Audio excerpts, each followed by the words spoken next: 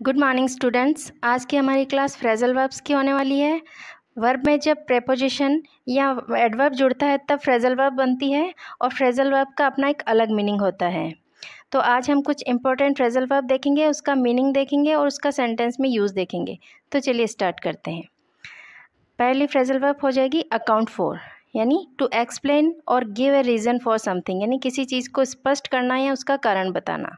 इसका सेंटेंस में यूज़ हो जाएगा a treasurer must account for the money he spends इसका मीनिंग हो जाएगा, एक कोषाध्यक्ष को उसके द्वारा खर्च किए गए धन का हिसाब देना चाहिए। तो अकाउंट फॉर यानी हिसाब देना चाहिए या स्पष्ट करना चाहिए। ठीक है? नेक्स्ट फ्रेजल वर्ब है आस्क आफ्टर इसका मीनिंग हो जाएगा to inquire about the health of somebody या to ask about somebody's health यानी किसी के स्वास्थ्य के बारे में पूछना या उसका हालचाल जानना।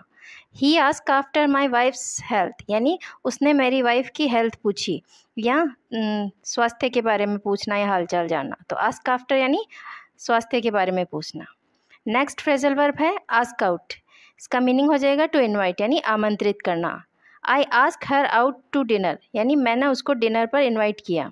तो आस्क आउट यानी आमंत्रित करना। नेक्स्ट फ्रेजल वर्ब है एड इन एड इन का मतलब होता है टू इंक्लूड यानी सम्मिलित करना। He added in Ram in team यानी उसने राम को टीम में सम्मिलित किया। और एड अप यानी फाइंड द टोटल योग ज्ञात करना, जोड़ना।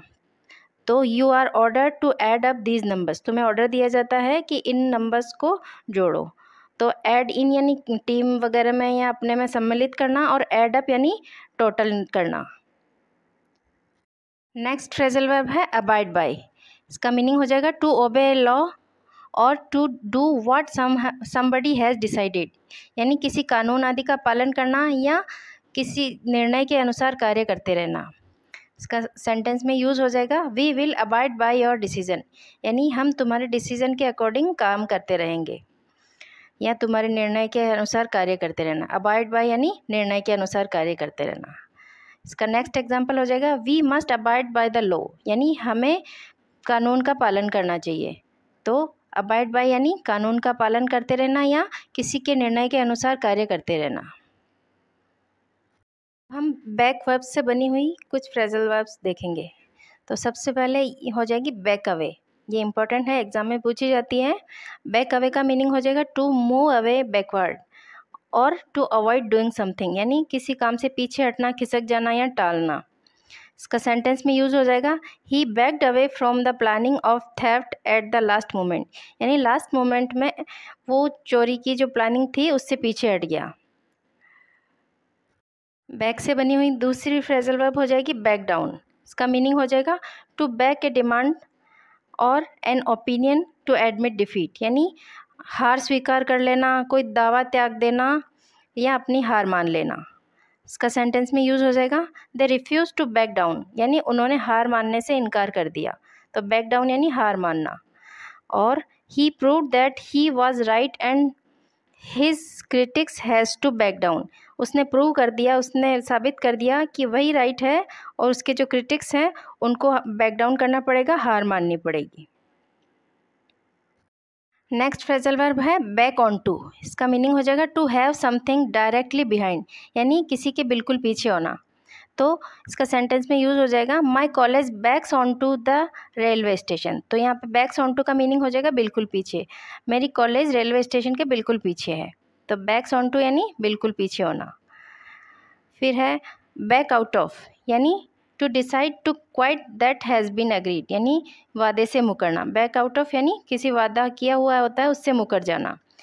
इसका सेंटेंस में यूज़ हो जाएगा you promised you you promised you would come with me you can't back out of it now यानी तुमने मेरे साथ आने का प्रॉमिस किया था, वादा किया था, अब तुम इससे मुकर नहीं सकते। तो बैक आउट ऑफ़ यानी वादे से मुकरना और बैक ऑन टू यानी कि बिल्कुल पीछे होना। नेक्स्ट फ्रेजल वर्ब है बैकअप अब ये बैकअप फ्रेजल वर्ब इसके दो अलग अलग मीनिंग निकलते हैं तो उनको देखते हैं। बैकअप का पहला मीनिंग हो जाएगा टू सपोर्ट समबडी यानी किसी का उत्साह बढ़ाना या समर्थन देना। I shall back you up if nobody helps you यानी अगर कोई भी तुम्हारा साथ नहीं देगा तो मैं तुम्हारा साथ दूँगा, मैं तुम्हें सपोर्ट करूँगा। तो बैकअप का एक मीनिंग तो हो गया सपोर्ट करना या समर्थन देना या उत्साह बढ़ाना। बैकअप का दूसरा मीनिंग हो जाएगा to move backward specially in a vehicle यानी किसी गाड़ी में पीछे की ओर जाना। तो बैकअप का ये मीनिंग हो गया पीछे हटना या विशेषतः वाहन में। इसका सेंटेंस में यूज़ हो जाएगा बैकअप पे little so that the other car can get pass.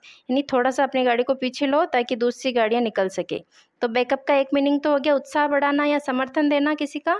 और बैकअप का मीनिंग जब गाड़ी में हो, गाड़ी के साथ हो तो उसका मीनिंग हो जाएगा पीछे हटना।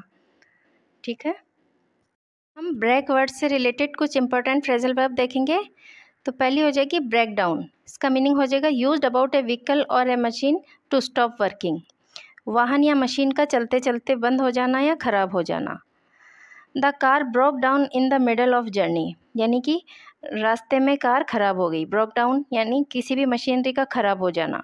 एक मीनिंग तो ब्रेक डाउन का ये होता है। इसका दूसरा मीनिंग भी होता है, वो भी देखते हैं। ब्रेकडाउन का दूसरा मीनिंग हो जाएगा यूज़ अबाउट सिस्टम और डिस्कशन एक्ट टू फेल, यानी किसी भी बातचीत या व्यवस्था का विफल हो जाना, असफल होना। सेंटेंस में यूज़ हो जाएगा task between two countries have completely broken down यानी दो कंट्रीज़ के बीच में जो वार्तालाप चल रहा था, वो असफल हो गया। तो ब्रोकन डाउन का एक मीनिंग तो मैंने बताया मशीन या किसी गाड़ी का ख़राब हो जाना, दूसरा मीनिंग हो जाएगा, किसी बातचीत का असफल होना। तीसरा मीनिंग होएगा इसका ब्रेक डाउन इसका मीनिंग हो जाएगा to lose control of your feeling and start crying यानी कि अपनी भावनाओं पर नियंत्रण खोकर रोने लगना। तो ही इसका सेंटेंस में यूज़ हो जाएगा he broke down in tears when he heard the news यानी जब उसने वो न्यूज़ सुनी तो वो अपना कंट्रोल खो दिया अपनी भावनाओं पे और रोने लगा। तो ब्रोक डाउन का एक मीनिंग मैंने बताया, वाहन या मशीन आदि का चलते चलते बंद हो जाना या ख़राब हो जाना। दूसरा, किसी बातचीत का असफल रहना। और तीसरा मीनिंग भावनाओं पर नियंत्रण खोकर रोने लगना। नेक्स्ट फ्रेजल वर्ब हो जाएगा ब्रेक इन या ब्रेक इन टू इसका मीनिंग हो जाएगा टू एंटर बाय फोर्स यानी बलपूर्वक प्रेस करना या सेंध लगाना. इसका सेंटेंस में यूज़ हो जाएगा the thieves broke in and stole the ornaments यानी चोरों ने सेंध लगाई और सारे जो ज्वेलरी थी ऑर्नामेंट्स थे, उनको चुरा लिया. इसका दूसरा यूज़ हो जाएगा the burglar broke into the house यानी जो सेंध मार थे, उन्होंने घर में सेंध लगाई या बलपूर्वक प्रेश करके चीज़ें चुरा ली. तो ब्रॉक इनटू यानी सेंध लगाना या किसी जगह पे बलपूर्वक प्रेश करना। नेक्स्ट फ्रेजल वर्ब है ब्रेकआउट इसका मीनिंग हो जाएगा टू बिगिन और spread suddenly of fire disease war violence यानी बीमारी, हिंसा, आग, युद्ध का अचानक फैलना या छिड़ जाना। इसका सेंटेंस में यूज़ हो जाएगा the war broke out between India and Pakistan यानी भारत और पाकिस्तान के बीच में वार छिड़ गई है। तो ब्रोकआउट यानी आग, ये, युद्ध का छिड़ जाना। नेक्स्ट एग्ज़ाम्पल है when I am stressed I break out in rashes यानी जब मुझे स्ट्रेस होता है तो मेरे रेशेज़ हो जाते हैं। तो ये बीमारी का बीमारी का फैलना। तो यहाँ पे ब्रेकआउट का मतलब है कोई बीमारी का फैलना और यहाँ पे ब्रेकआउट का मीनिंग हो जाएगा किसी युद्ध का छिड़ जाना। तो ब्रेकआउट के काफ़ी मीनिंग निकलेंगे। बीमारी का हो, फैल जाना, हिंसा का फैल जाना, आग का फैल जाना या युद्ध का छिड़ जाना। नेक्स्ट फ्रेजल वर्ब है ब्रेक ऑफ़ यानी टू स्टॉप सडनली यानी बोलते बोलते अचानक रुक जाना। He broke off in the middle of his story यानी वो स्टोरी के बीच में ही बोलते बोलते अचानक रुक गया। तो ब्रोक ऑफ़ यानी बोलते बोलते अचानक रुक जाना। और ब्रेक विथ यानी क्वारल विथ या एंड फ्रेंडशिप यानी कि दोस्ती तोड़ना या झगड़ा करना। I gave him no cause to break with me यानी मैंने उसके लिए कोई भी कारण नहीं छोड़ा कि वो मेरे से दोस्ती तोड़े या मेरे से झगड़ा करे। तो ब्रेक विथ यानी दोस्ती तोड़ना या झगड़ा करना। नेक्स्ट फ्रेजल वर्ब हो जाएगी ब्रेक ओपन यानी टू ओपन बाय फोर्स यानी किसी चीज़ को तोड़कर खोलना, किसी ढक्कन को या किसी दरवाजे को। तो the police broke open the door यानी पुलिस ने दरवाजे को तोड़कर खोला। तो ब्रेक ओपन यानी टू ओपन बाय फोर्स या तोड़कर खोलना। नेक्स्ट है ब्रेक थ्रू यानी एक एन इंपॉर्टेंट डिस्कवरी और डेवलपमेंट यानी कि किसी महत्वपूर्ण खोज में सफलता प्राप्त कर लेना। इसका सेंटेंस में यूज़ हो जाएगा we have achieved a real breakthrough in the search for peace यानी हमने शांति की तलाश में एक वास्तविक सफलता हासिल की है। तो ब्रेक थ्रू यानी किसी काम में सफलता हासिल करना। इसके अलावा एक एक और वो फ्रेजल वर्ब होती है ब्रेकअप जिसका सबको पता ही होगा, किसी से संबंध तोड़ लेना। ये सभी जो फ्रेजल वर्ब्स आज हमने की है एग्ज़ाम के पॉइंट ऑफ़ व्यू से बहुत इंपॉर्टेंट है। अगर क्लास आपके लिए यूज़फुल हो तो क्लास को लाइक करें चैनल को सब्सक्राइब करें और वीडियो को अपने फ्रेंड्स के साथ शेयर करें। Thanks for watching